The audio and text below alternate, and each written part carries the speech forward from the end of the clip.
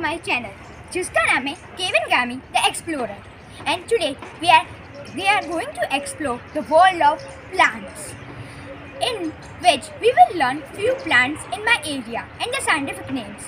So let's get in. Here is the first plant and its scientific name is Cassia fistula and in Gujarati we call it garmalo. It has a fruit-like structure which are its fruits which are called pods they come from Fabaceae family it are good for a digestive cleaning and they have a yellow flower. So now let's go to the second plant.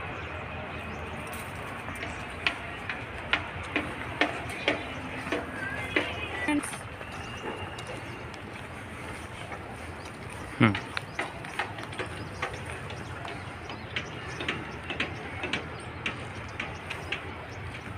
So here is the second plant, which scientific name is Ficus religiosa. In Gujarati, we call it people. See, its leaves are so needle-like structure and they are in heart shape.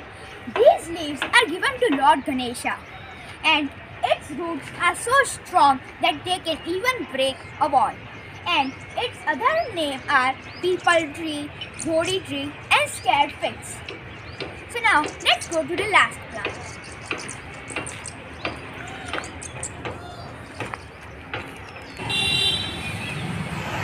So friends, this is our last one.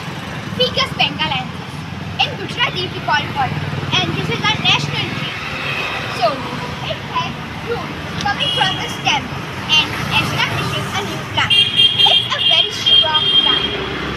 Okay friends, so till then bye. Please like and subscribe my channel and touch the bell icon to get my latest video.